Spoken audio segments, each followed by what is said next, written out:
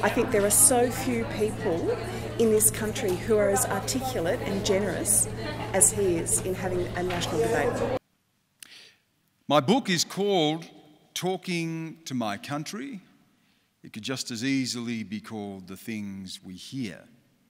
Stan's really starting something, I think. He's inspiring people to question, to really start a process that I think Australia is going to have to go through.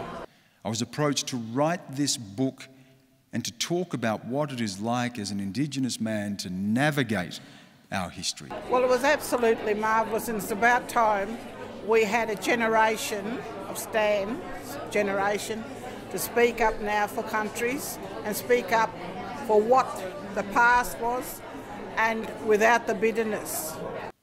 When we speak to this country, it is no point speaking to one part of this country, one part of this racial divide. We need to speak to the things that connect us. Inspiring. Very inspiring. It's good to see a man that's standing up and walking through that door and hopefully holding it open for a few other people as well. The book is going to go a long way. It will be now and it should be in all the curriculum through all the schools. My book is called Talking to My Country. What is more important is how you hear the words of this book.